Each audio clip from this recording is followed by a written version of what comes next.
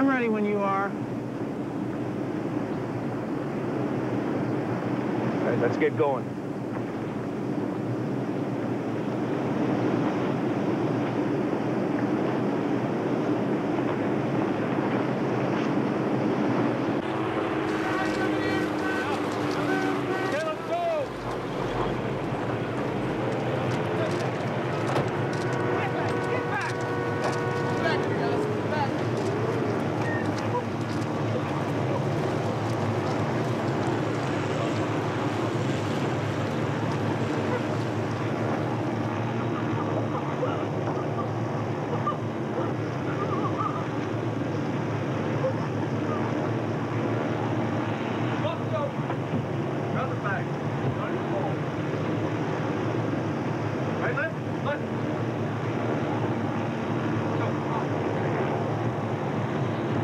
Barbara, I'm really sorry about this.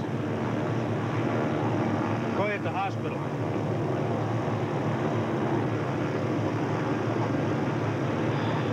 All right, come on, let's get this done. Come on.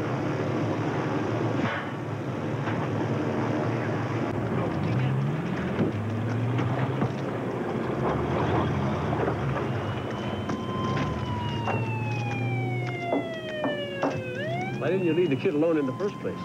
Damn it, Dave. What do you think, this kid just waltzed into town and announced he was a Congressional Medal of Honor winner, and then I just leaned on him for the hell of it? I tried to do him a favor. I treated him like he was one of my neighbor's kids. I did my job, Dave. I booked him for vagrancy and resisting arrest. You seem pretty well motivated on this one.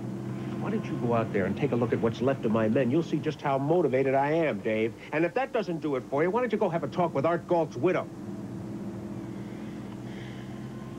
All right, Will. I read you.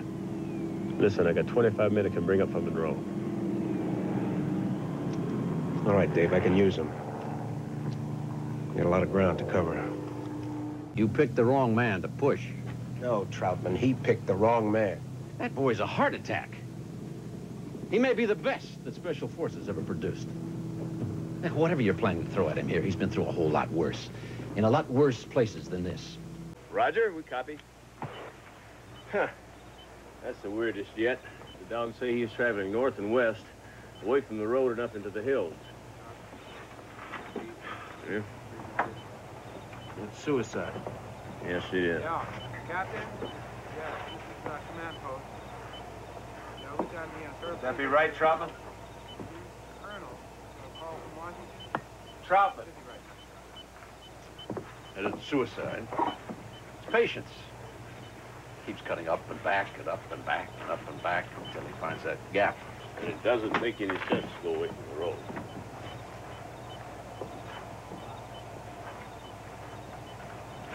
Dave, get back on the horn with the National Guard. Tell them to move north and west. Tell them to watch the gaps. Keep it closed up.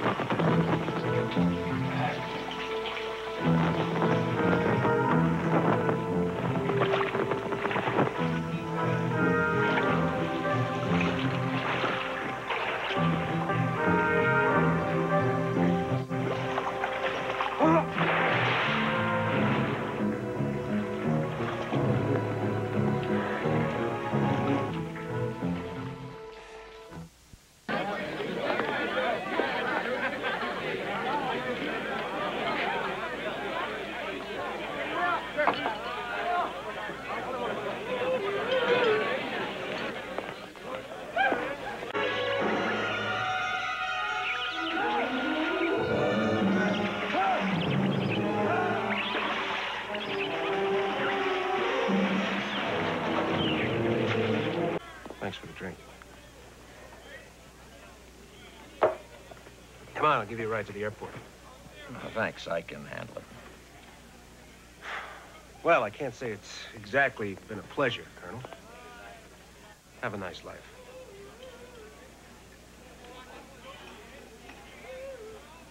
Good luck to you.